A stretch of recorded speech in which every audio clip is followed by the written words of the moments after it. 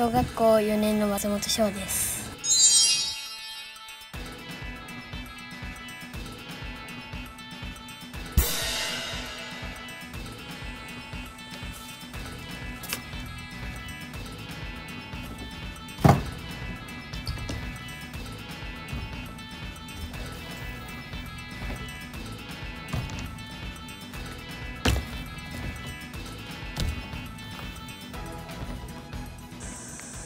あります。うん両足骨折。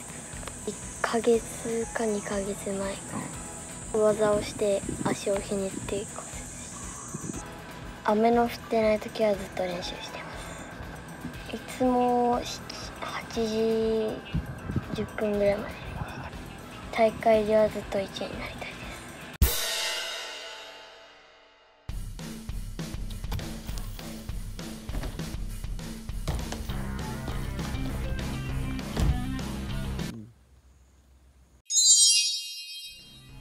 ちょ一発で決まると思わなかった。なんかすげえ。いつも56回しんと決めれんけ。今日一発で決めれたのがすごい